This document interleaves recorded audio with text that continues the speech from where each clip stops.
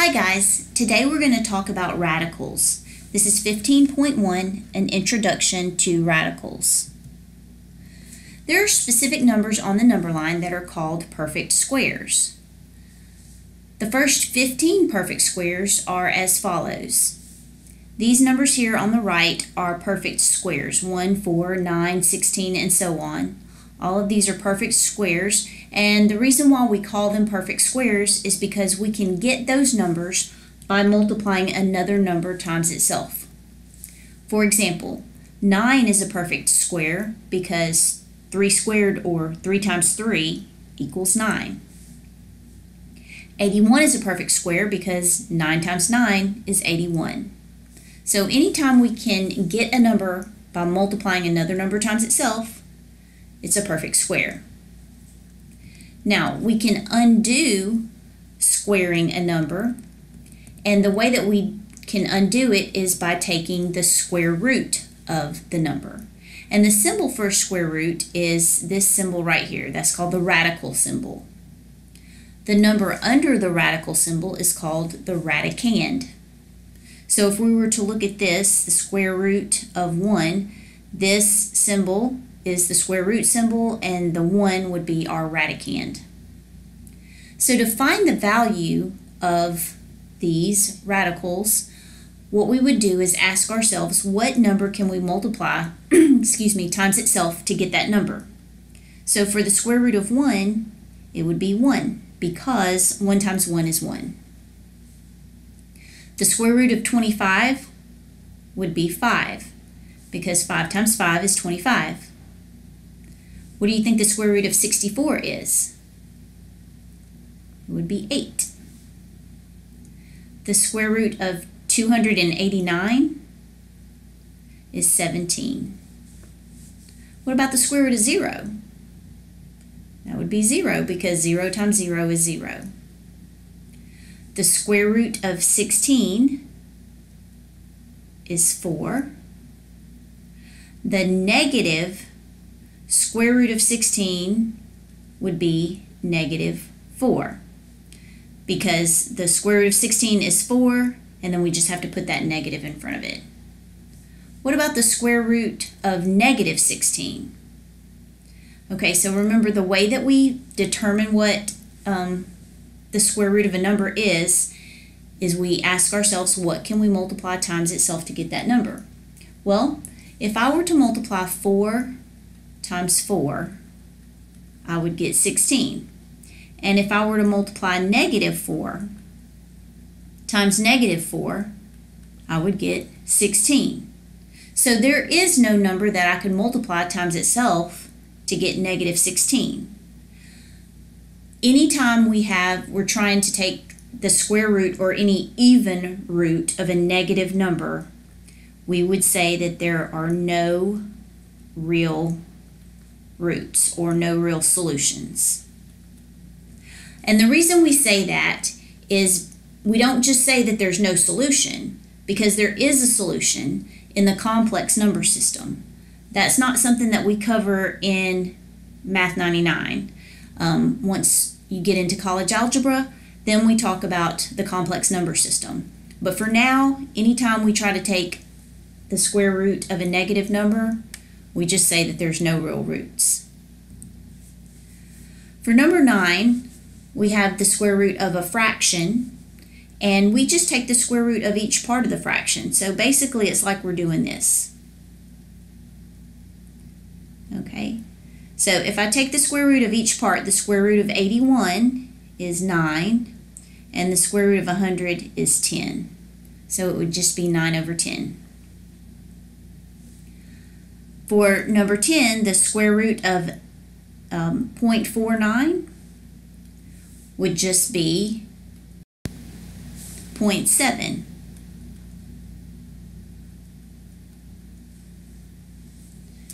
All right, there are also specific numbers on the number line that are called perfect cubes.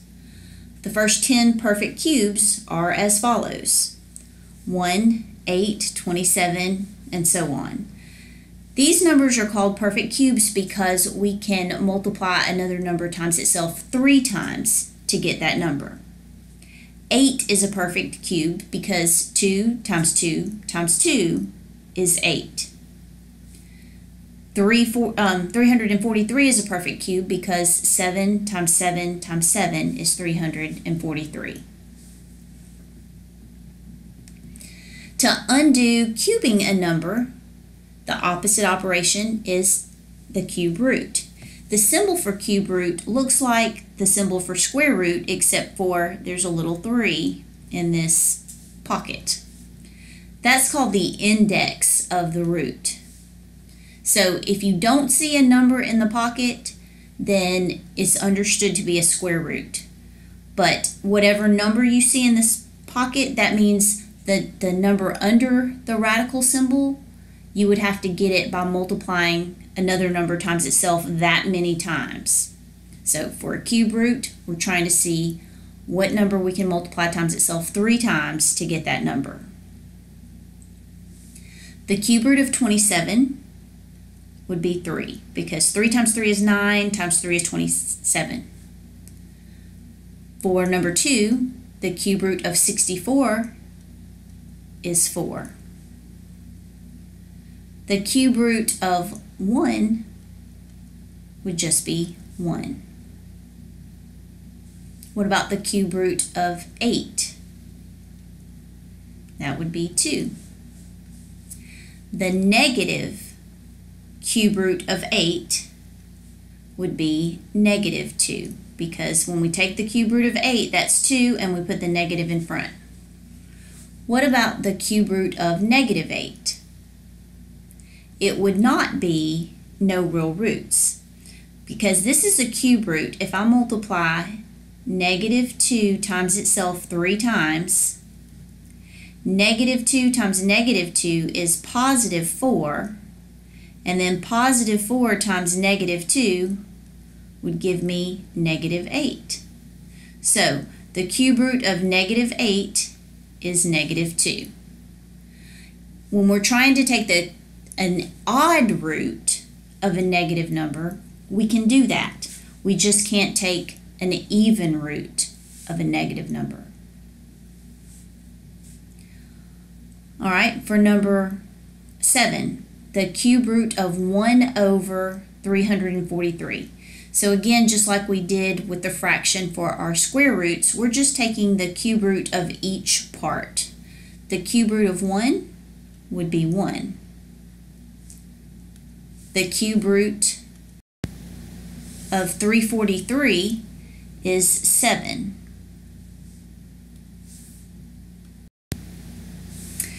for the cube root of negative 125 over 729, like I said, we can take the negative cube root of a number. It's just going to be negative.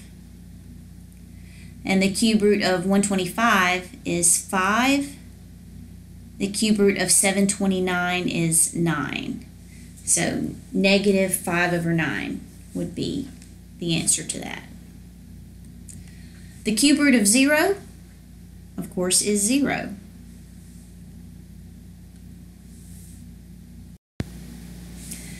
And the cube root of negative 0.512 or 512 thousandths would be negative 0.8. So we've talked about square roots and cube roots. We can have other roots. If the square root means to find a number times itself, and a cube root means to find a number times itself three times, then you can find the value for any other root following that pattern. So let's find the value of each of the following roots. The fourth root of 16 means what number can we multiply times itself four times to get 16? Well, 2 times 2 is 4, times 2 is 8, times 2 is 16. So 2 would be the fourth root of 16. And like I said, whatever is in that little pocket, that's how you know how many times you need to multiply another number times itself to get that number. The fourth root of 81 would be 3. 3 times 3 is 9, times 3 is 27, times 3 is 81. All right, the fifth root of 1 would just be 1. Any root of 1 is going to be 1. What about the fifth root of negative 1? Since 5 is an odd number, we can do the negative. And so this would just be negative 1. But if I were going to try to take the sixth root of negative 1, that would be no real root, no real roots.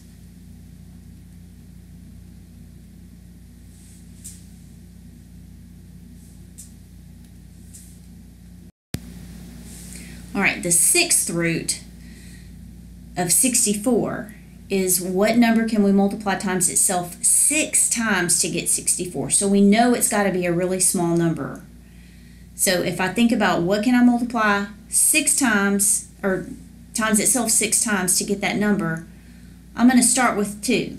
2 times 2 is 4, times 2 is 8, times 2 is 16, times 2 is 32, times 2 is 64.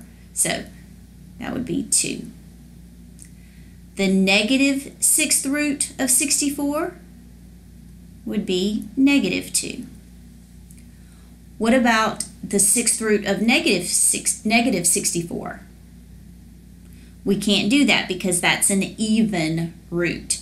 We can't take the even root of a negative number, so no real roots.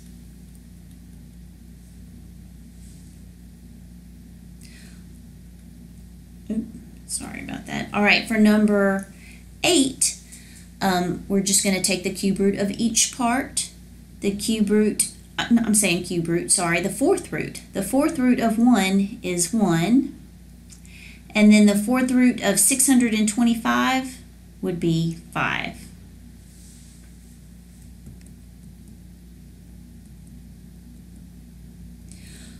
Everything that we have looked at so far were numbers. What makes a variable a perfect square?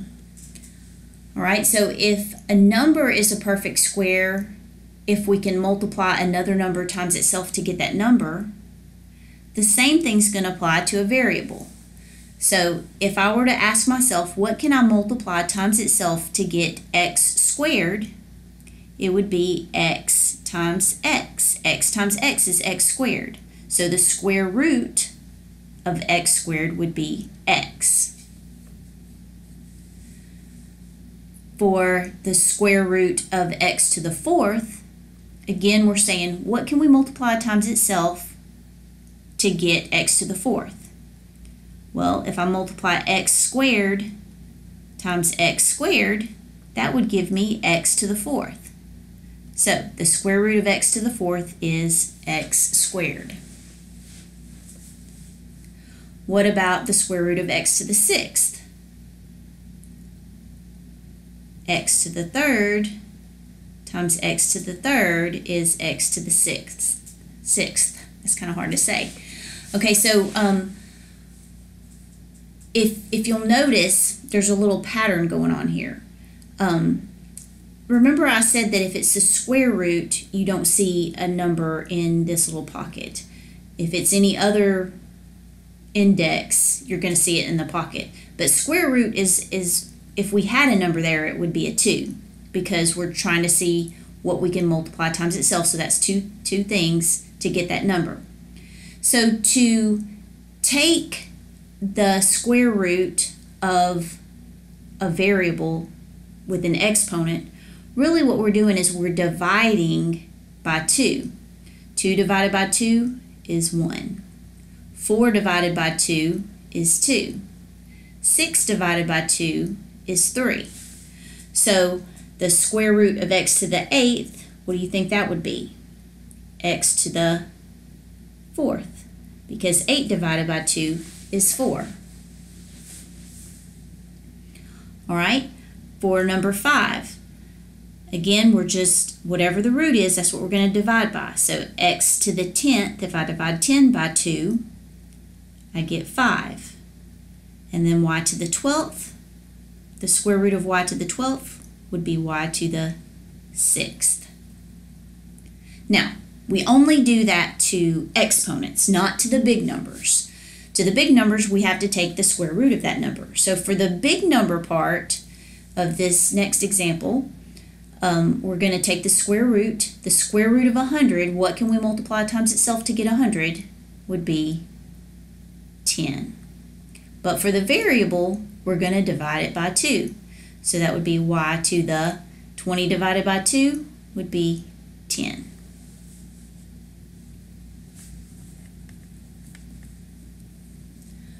All right, what makes a variable a perfect cube? So just like with numbers, it has to be able to be um, multiplied times itself three times to get that number. So if I say, what can I um, multiply times itself three times to get x cubed? It would be x times x times x. That would be x cubed. So the cube root of x cubed would be x. But we can do the same thing that we did in the square roots. We can just divide the exponent by the index. 3 divided by 3 is 1. 6 divided by 3 would be 2. Okay, so let's see if that worked. If I did x squared times x squared times x squared, 2 plus 2 plus 2 would be x to the sixth. So it works. So the cube root of x to the ninth, 9 divided by 3 is 3.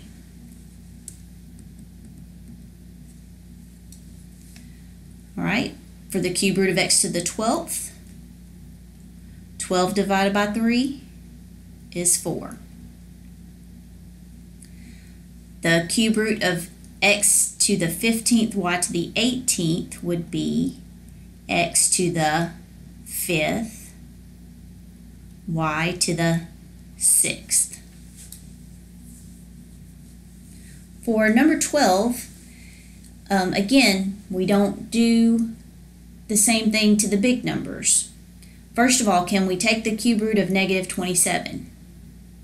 Yes, because it's a cube root, it's an odd root. We can do the odd roots of negative numbers. Now, what big number, what number can we multiply times itself three times to get negative 27? It would be negative 3. And then for the exponent, we just divide it by the 3. So 21 divided by 3 would be 7.